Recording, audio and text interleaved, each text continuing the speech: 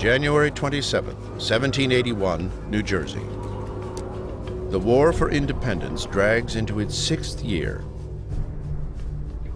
Money, spirit, and patience are flagging throughout the Army.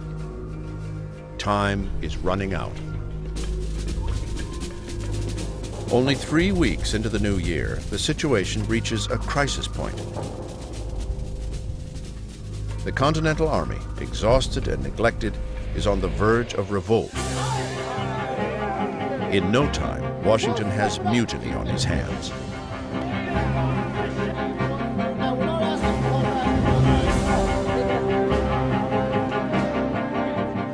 His response will be determined and drastic.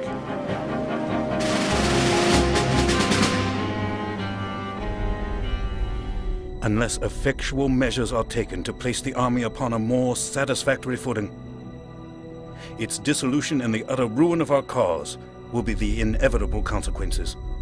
George Washington.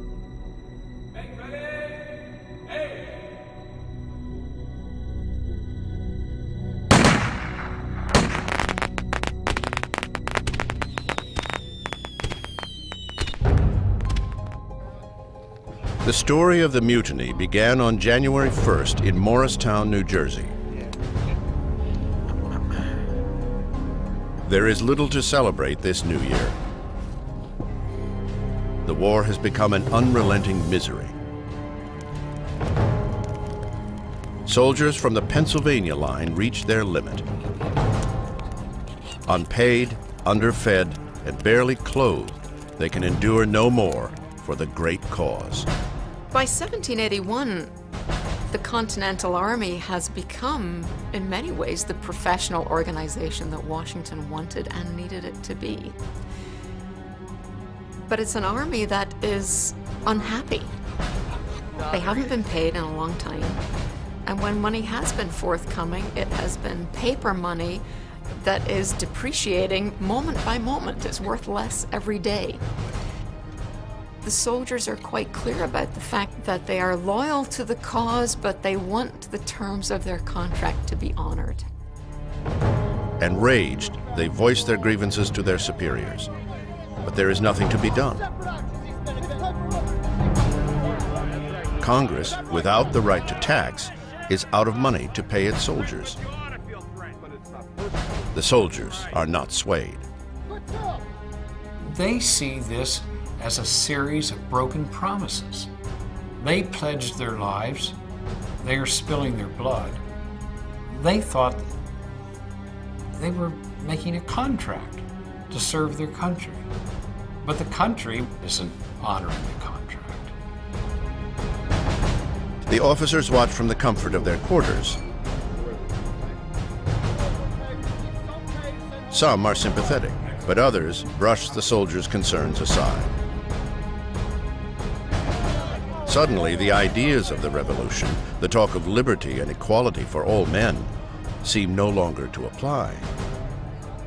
I don't think the fact that the officers had better clothing, better food, um, better equipment endeared them to the regular troops who were so cold and so hungry and so behind in their pay. Within the revolution, a rebellion grows.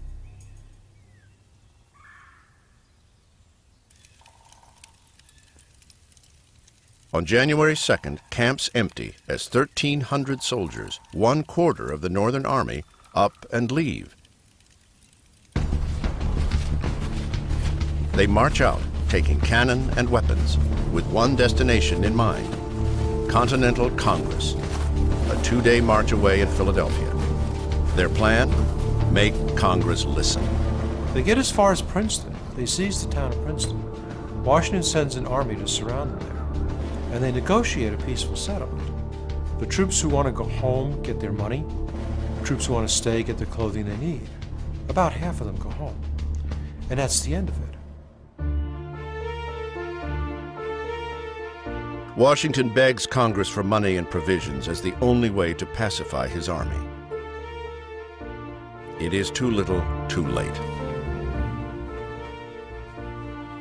as I have used every endeavor in my power to avert the evil that has come upon us, so will I continue to exert every means to prevent an extension of the mischief. But I can neither foretell or be answerable for the issue. George Washington.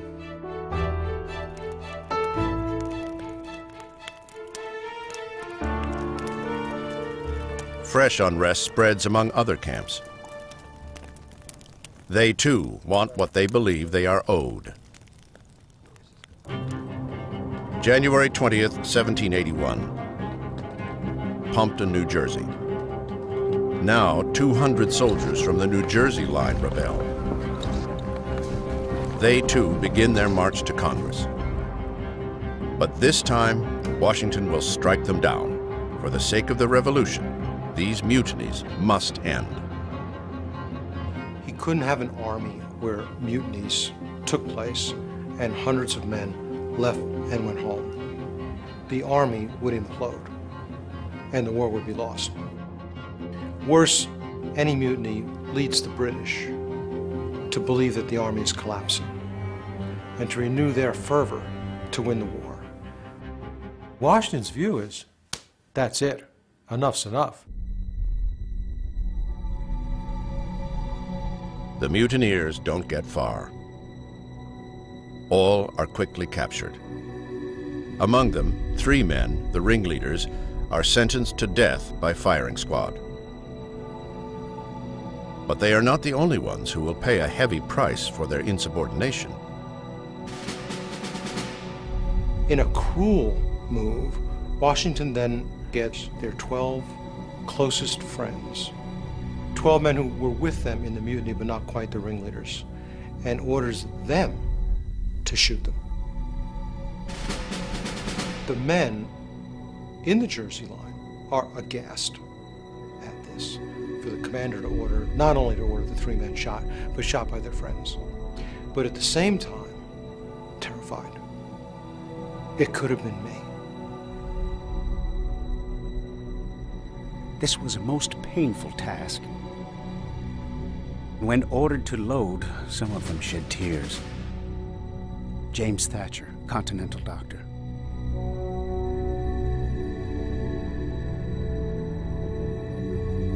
The first six men fire.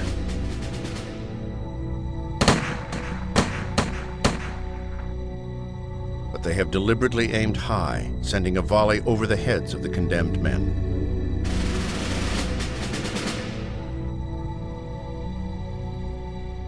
The second six are immediately assembled and under penalty of death themselves, ordered to shoot.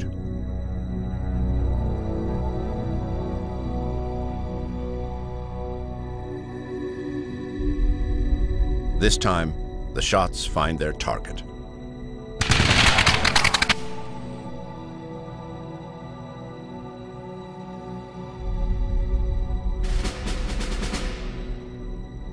Punishment sends a clear message.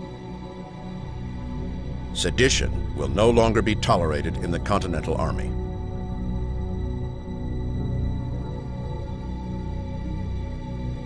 After the execution of those men in that terrible winter of 1781, there were no more mutinies.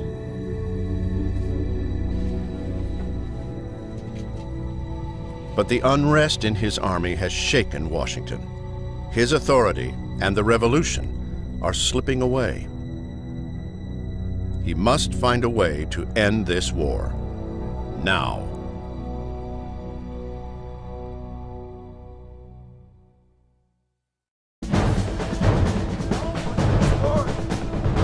In the South, the war continues without pause. An ongoing showdown between two determined armies. Having surprisingly beaten the British at the Battle of Cowpens, the Continentals steady themselves for revenge. The British will seek to make an all-or-nothing push to annihilate the rebel force.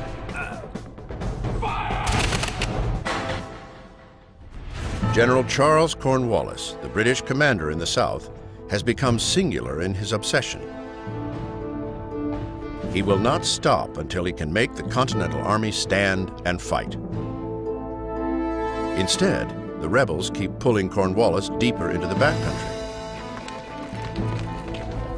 on a cat-and-mouse chase led by his arch-rival, General Nathanael Greene. Cornwallis himself believes that if he can draw Nathanael Greene into one decisive fight, if he can bring this war to one pitched battle somewhere in the South, the battle's going to be over. Greene won't give him that satisfaction. General Nathanael Greene knows better. He learned early on in battles like New York and Brandywine that keeping the Army away from direct confrontation is paramount.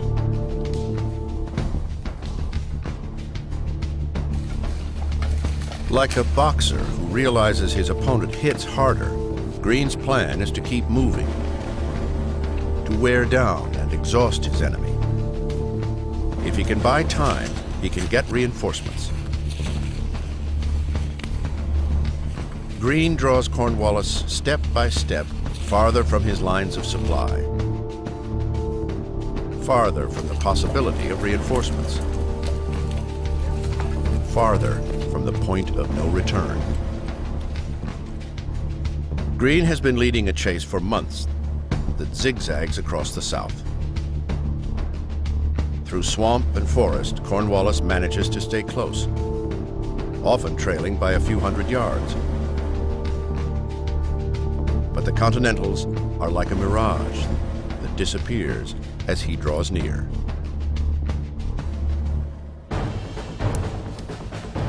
The two sides regularly skirmish amongst scouting parties.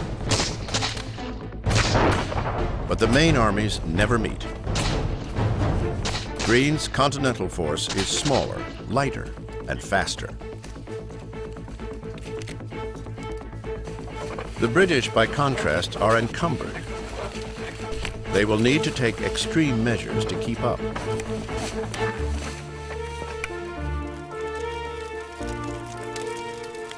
To lighten his load, Cornwallis orders an enormous bonfire built, onto which all the unnecessary trappings of a distinguished British army are thrown. Wagons, tents, clothing, fine china, silver, and cask upon cask of rum. Cornwallis is very earnest. He does not want to allow Greene to escape. He is going to do anything within his power to catch up to Greene. In this situation, without baggage, necessaries, with zeal and bayonets only, it was resolved to follow Greene's army to the end of the world. Brigadier General Charles O'Hara. It is a fateful decision that he will pay for later. The race picks up speed. The two armies begin to travel at an almost inhuman pace, moving as much as 40 miles in a single day. Greene now sees only one chance for survival. As Cornwallis chases him toward the Virginia border, Greene makes a daring move. He splits his army, sending one branch toward the upper Dan River, while the main army moves east, where Greene has commandeered all the boats along the crossings. Cornwallis, fooled, dutifully follows the decoy. It bought Greene the time he needed to move down the river to the point where the Continentals had gathered all of the boats on that river and crossed at a point that Cornwallis could not hope to cross. Greene's plan works. He moves his entire regiment, all 2,000 men, across the Dan, reaching the other side just in time. The British, realizing the ploy, rush to the crossing arriving just hours after the last of Greene's boats leave. Cornwallis, so close to the victory he sought, recognizes that the chase is over.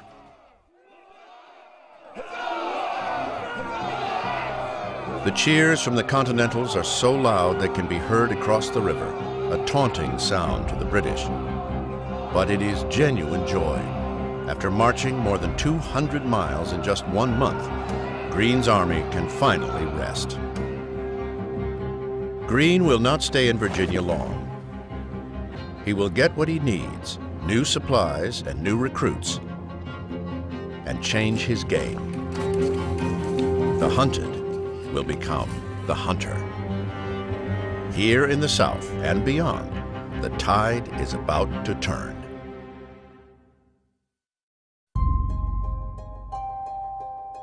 Far from the swamps of the southern colonies, another chase drags on. France, 1781, the court of Versailles. The venerable diplomat Benjamin Franklin is still in hot pursuit of France's money. Lately, it has become elusive. King Louis XVI, America's ally against the British, has given more than $100 million in direct aid to the revolution. In fact, he's going broke funding the Americans. Yet it never seems to be enough to satisfy Ben Franklin.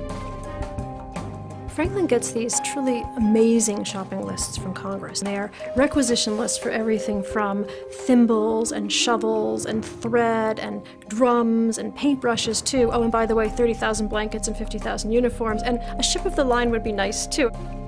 Franklin's essentially constantly approaching them with his tin cup and being told, but we already gave at the office. You know, being told we've already given you X, how can we possibly cough up more? Franklin is caught between two masters. On one hand, he must convince the French that the American Revolution can still be won. On the other, he must assure Congress that French aid, the key to the war, is on its way. Some Americans, like General Washington, have reason to doubt it.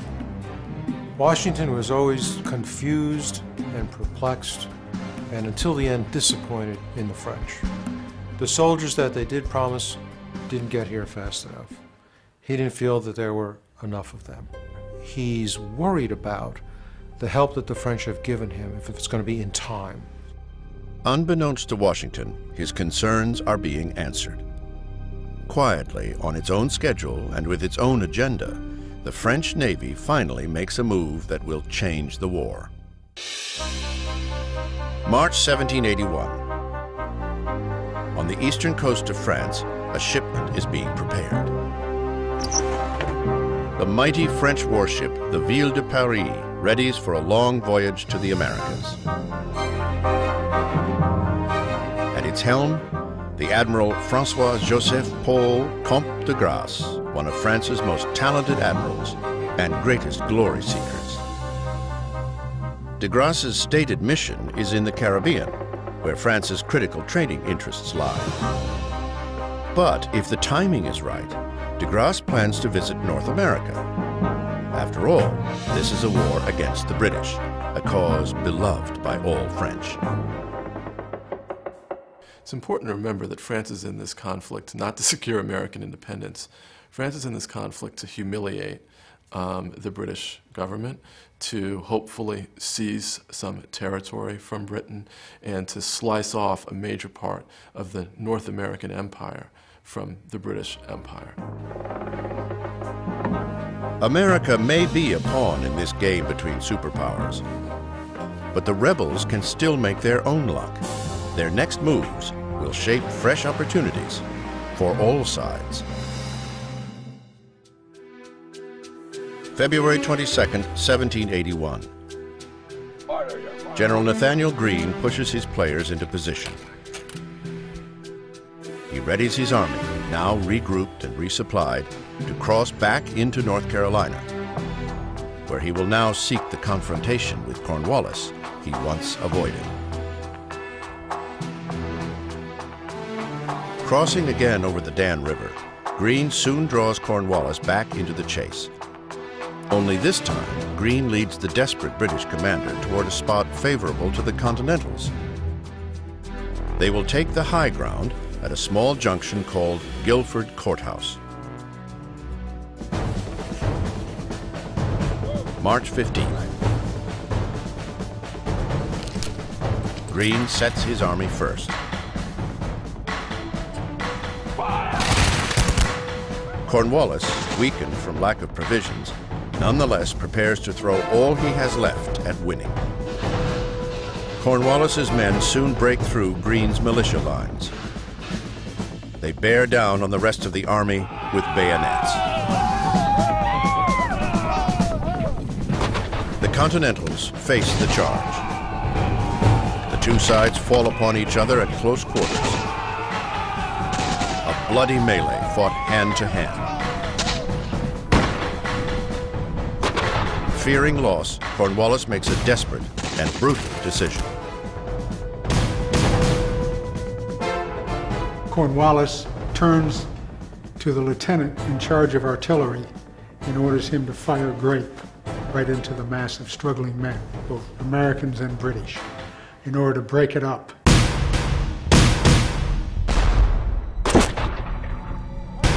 The cannon cut down as many British as Americans. But it is enough to stop the rebels. Greene orders his men to retreat.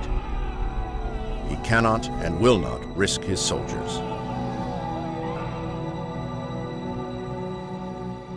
Cornwallis is victorious, but only by sacrificing his own men. Twice as many British die in the victory as Continentals perish in the loss.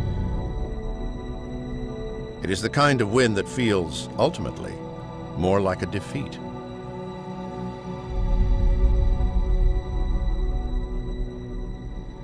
The months spent chasing Greene have cost Cornwallis greatly and gained him nothing.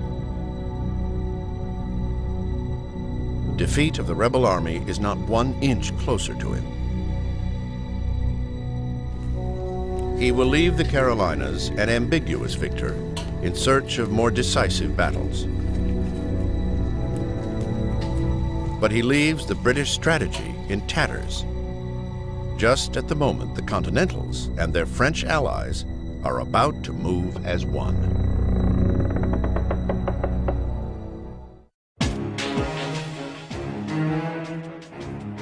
Losses in the south and stalemate in the north have left the British command in America in disarray.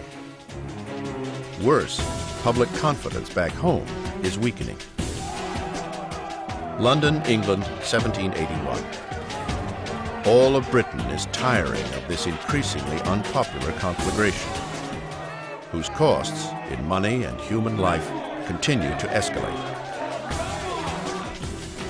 King George and his cabinet may try to spin it differently, but they cannot change the facts. The insurgent colonies are showing no signs of submission. The British people are saying, come on home. What's in this for us? They're wondering, how is this going to end? How is this going to play out? Or is this just going to go on forever? The rift between those who wish to end the war fast and those who take the long view travels over the Atlantic.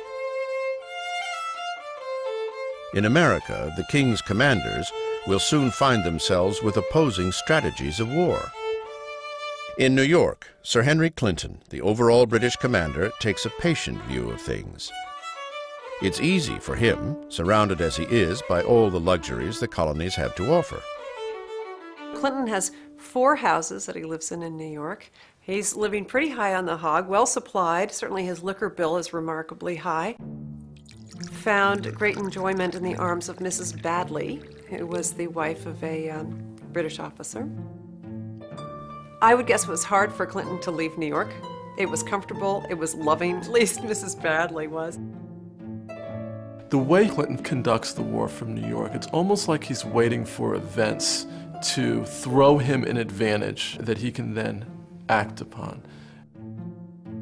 Cornwallis's instincts are to act. Cornwallis's instincts are to fight them to death. Now, my dear friend, what is our plan? Without one, we cannot succeed.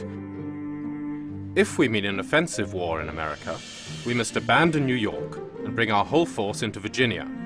General Charles Cornwallis.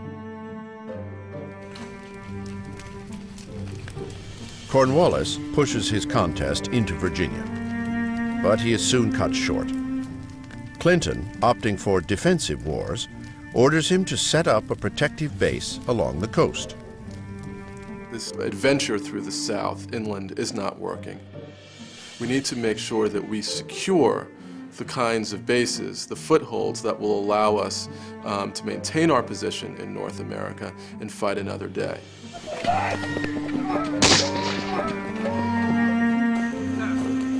Cornwallis has no choice but to obey his commander. He turns his army toward a small coastal village, to a place called Yorktown. Once, Yorktown was known solely as a tobacco trading port. But it will soon become a major battlefield, and for some, a place of destiny.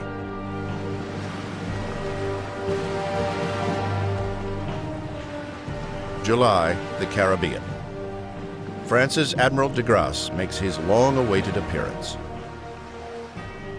The fall is hurricane season in the Americas. This is a time when, for the most part, shipping comes to a complete pause um, in the Caribbean. And so it's the right moment um, for de Grasse to leave the Caribbean and assist um, their allies in North America.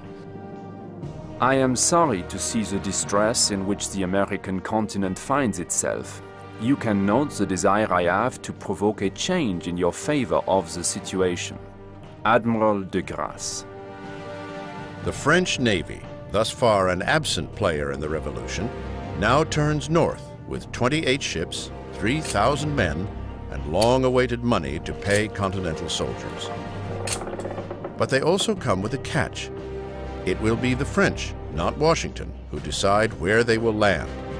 In their view, the British are weakest in Virginia, near the Chesapeake Bay, at the small port of Yorktown.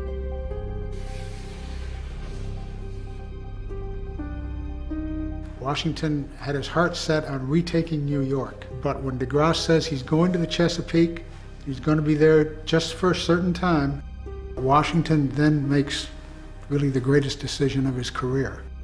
He knows, he seems to sense that this is the time. This is the time to strike. It may be declared in a word that we are at the end of our tether, and that now or never our deliverance must come. George Washington. With all he has, every soldier, every cannon, every French reinforcement, Washington moves south. The general now returns to Virginia, his beloved homeland. In search of the battle he hopes will end the war.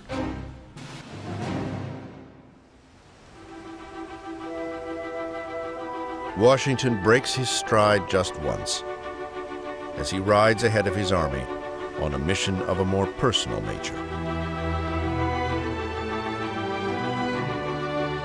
For the first time since the beginning of the Revolution, Washington visits his home. He goes home to Mount Vernon, and I think the whole point of the war is brought home again to him on a very personal level. He had seen Martha only rarely, and he had grown out of touch with Mount Vernon. Now he delves into the details that a man of the house, not the general of an army, would attend to.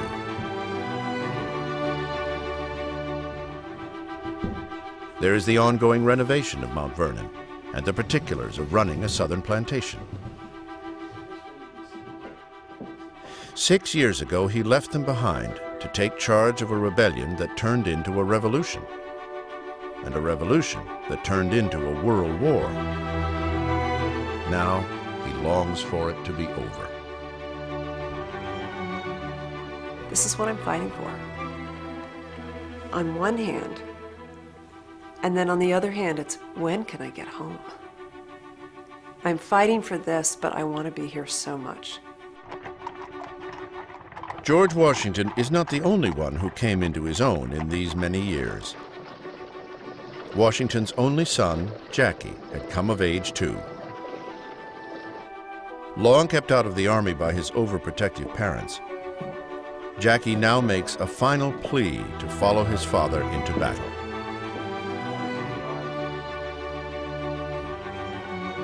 This time, Washington softens. It is a testament to Washington's confidence. With all good fortune, the end of the war is at hand.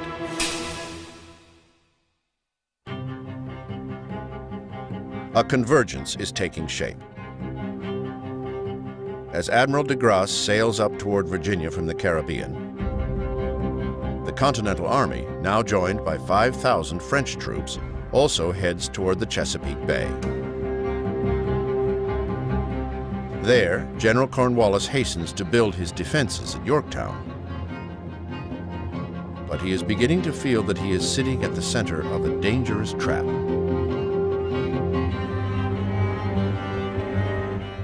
Cornwallis raises the alarm. He writes to Clinton in New York. Sir, if I had no hopes of relief, I would rather risk an action than defend my half-finished defenses. But if you cannot relieve me very soon, you must be prepared to hear the worst. General Charles Cornwallis. Clinton's response? Vague promises.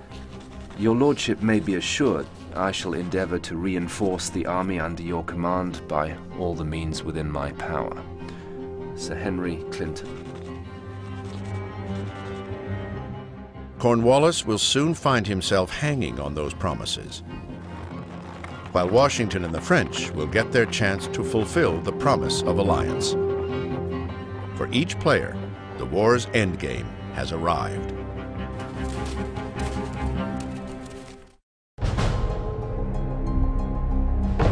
The Continental Army, after a year of deadlock and disloyalty, is now moving as one en route to Yorktown and the largest offensive of the war.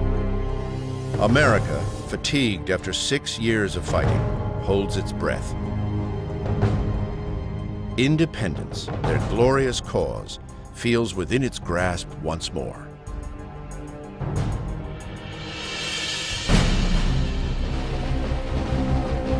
September 5th. Admiral de Grasse and his French fleet arrive first to the Chesapeake Bay and take on the inadequate British force sent to chase him out. The two navies clash at sea for four days. Both fleets are badly hurt, but it is the British who must give up the bay. They needed to drive de Grasse out of the mouth of the Chesapeake, and that they failed to do.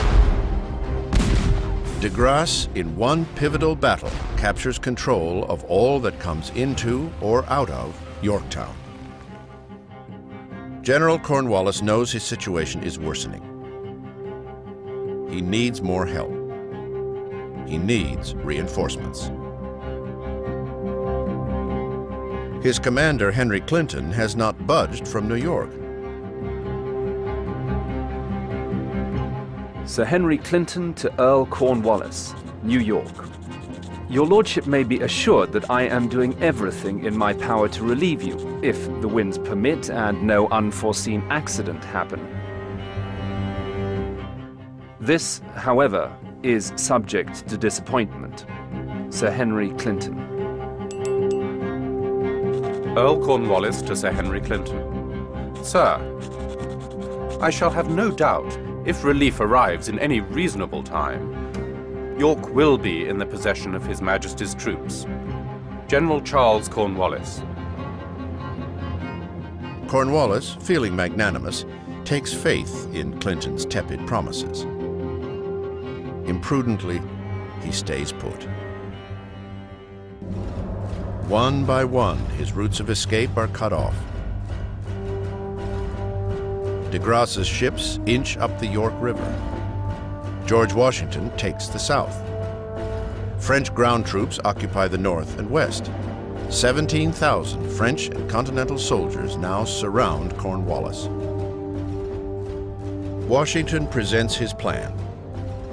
Launch a massive frontal assault on Cornwallis. His European allies disagree. Yorktown has now become heavily fortified. Washington will lose a lot of men in the assault. General Rochambeau, the French commander, suggests a long-range siege of cannon and mortar. Washington sees it as a better strategy. One of his great gifts as a commander was to listen to other people and often do what other people suggested, even if he was against it at first.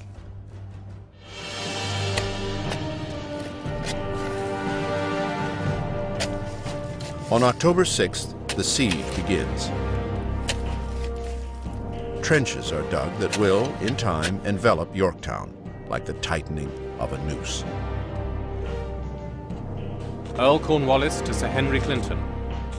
Sir, the enemy made their first parallel on the night of the 6th. On the evening of the 9th, their batteries opened and have since continued firing without intermission. Against so powerful an attack, we cannot hope to make a very long resistance. General Charles Cornwallis. A lot of a siege is about the timing. Can you force a city to surrender before the city gets reinforcements? Can you get closer and closer in your parallel trenches as you move towards the city line of defenses?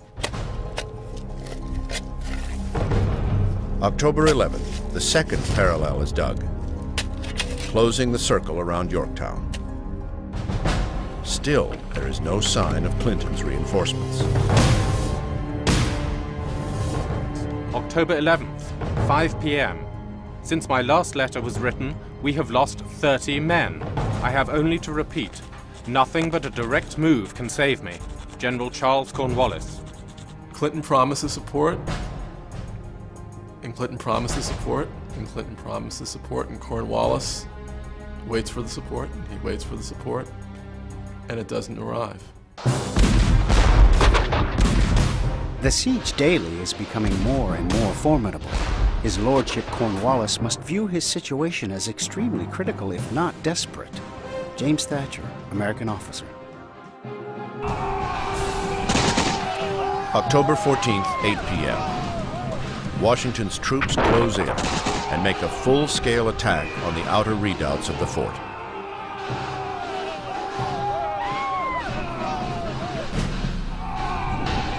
October 15th. Earl Cornwallis to Sir Henry Clinton. Sir, my situation now becomes very critical. The safety of this place is so precarious that I cannot recommend you run great risk in endeavoring to save us. General Charles Cornwallis. Cornwallis's letter will not be read. Clinton has already set sail from New York. But the belated relief effort will not be in time. His window has closed.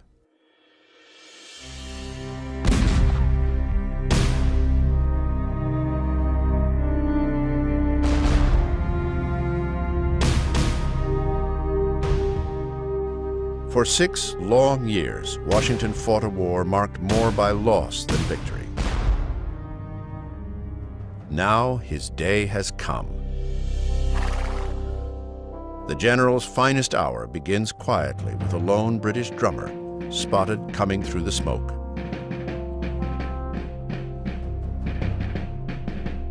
The enemy beat a parley, and Lord Cornwallis proposed a cessation of hostilities to settle terms for the surrender of the posts.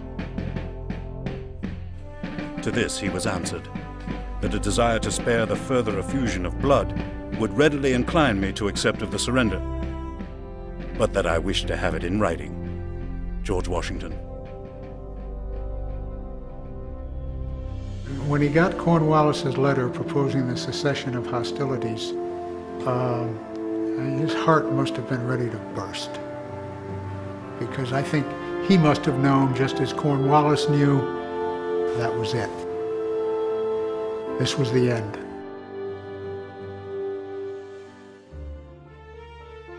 To Sir Henry Clinton. Sir, I have the mortification to inform your excellency that I have been forced to surrender the troops under my command. I never saw this post in a very favorable light. General Charles Cornwallis. General Henry Clinton can barely contemplate the consequences of his inaction. He had set in motion the endgame, and then sat idly while it played out.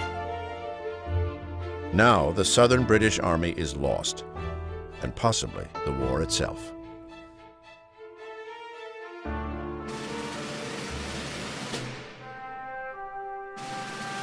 October 19th, 1781.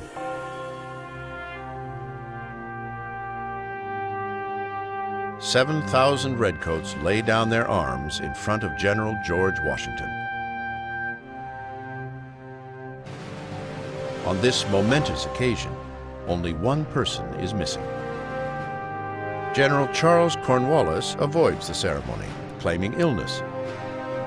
No doubt he felt worse on this day than any other in his long military career. How could this have happened? Cornwallis is so uh, humiliated um, and so uh, stricken by the defeat that he cannot surrender in person to George Washington. October 27th. Cornwallis and Washington will meet a week later when Cornwallis, in a show of respect, invites Washington to his headquarters. What the two men discuss is not recorded. But surely they must have shared the same thought. Now they come together as equals, as the commanders from two nations. One ancient and powerful, the other on the verge of being born. For the Americans, certainly there are euphoric feelings of victory. Now, though, the more difficult task of building a nation begins. Washington, the general, is about to exit the stage to make way for Washington, the statesman and nation builder. A challenge he cannot yet conceive. But before he can look to the future, Washington is pulled back into the present. Victory has come at a terrible price, a personal tragedy that will forever scar the general. During the siege, Washington's son Jackie, who finally came to fight alongside his father, falls ill to a devastating camp fever.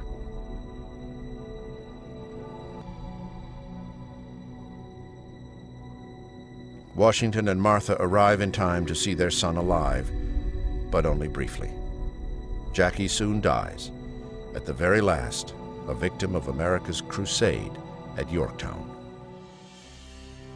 The same time the country is celebrating in jubilation through all the colonies at the victory of Yorktown, the commander in chief who brought them that victory is mourning, deep in grief, over the death of his son and his final child. George and Martha have now lost all their children.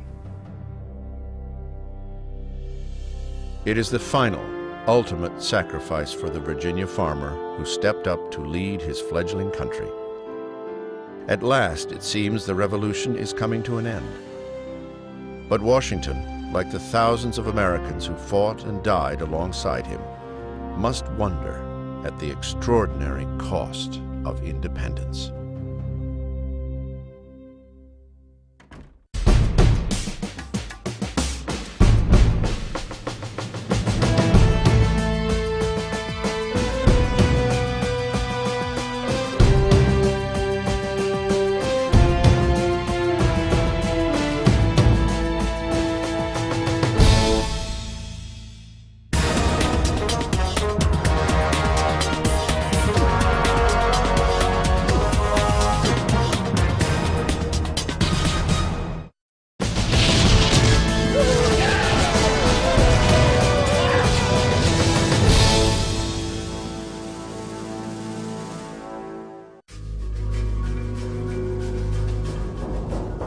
January 27, 1781, New Jersey.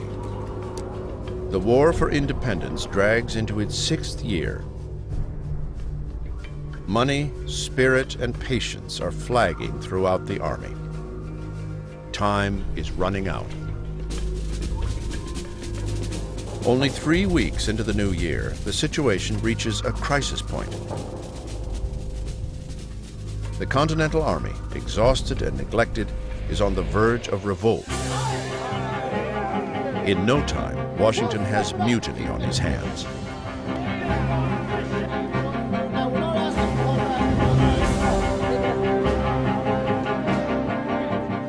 His response will be determined and drastic.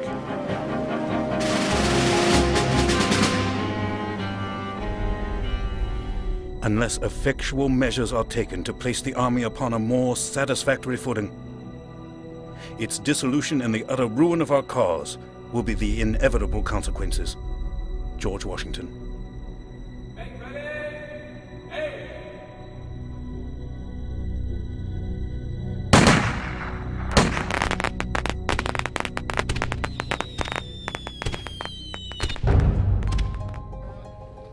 The story of the mutiny began on January 1st in Morristown, New Jersey. There is little to celebrate this new year. The war has become an unrelenting misery. Soldiers from the Pennsylvania line reached their limit. Unpaid, underfed, and barely clothed, they can endure no more for the great cause. By 1781, the Continental Army has become, in many ways, the professional organization that Washington wanted and needed it to be. But it's an army that is unhappy. They haven't been paid in a long time.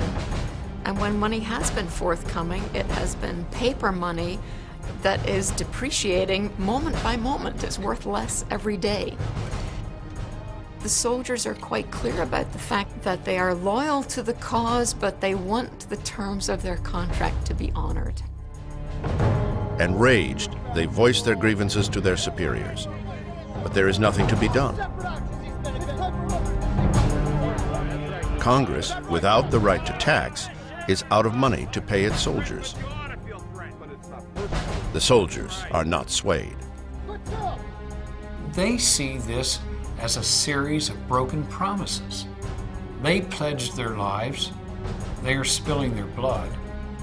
They thought they were making a contract to serve their country.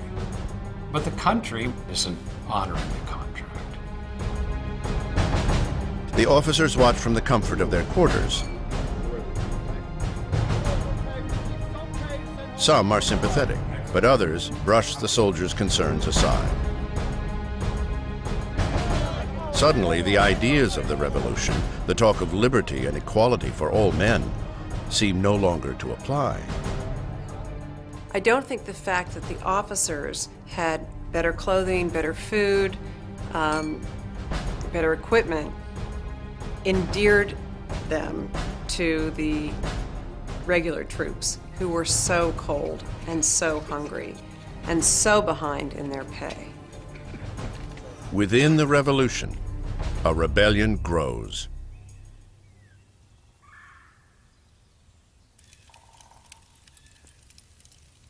On January 2nd, camps empty as 1,300 soldiers, one quarter of the Northern Army, up and leave.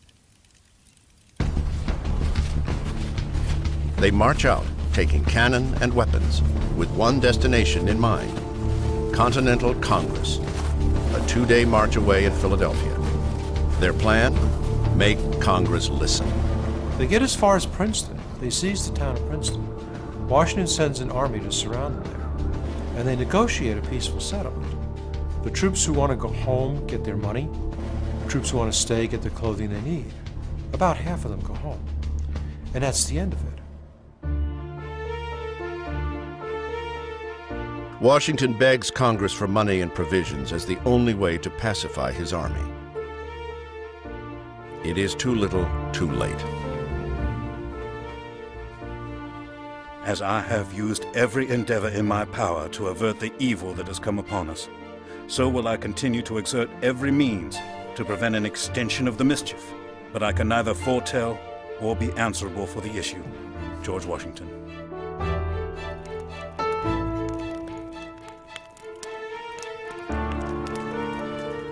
Fresh unrest spreads among other camps. They too want what they believe they are owed. January 20th, 1781. Pompton, New Jersey. Now 200 soldiers from the New Jersey line rebel. They too begin their march to Congress. But this time, Washington will strike them down. For the sake of the revolution, these mutinies must end. Couldn't have an army where mutinies took place and hundreds of men left and went home. The army would implode and the war would be lost. Worse, any mutiny leads the British to believe that the army is collapsing and to renew their fervor to win the war. Washington's view is that's it, enough's enough. The mutineers don't get far. All are quickly captured. Among them, three men, the ringleaders, are sentenced to death by firing squad. But they are not the only ones who will pay a heavy price for their insubordination. In a cruel move, Washington then gets their 12 closest friends, 12 men who were with them in the mutiny but not quite the ringleaders, and orders them to shoot them. The men in the Jersey line are aghast at this, for the commander to order, not only to order the three men shot, but shot by their friends, but at the same time, terrified.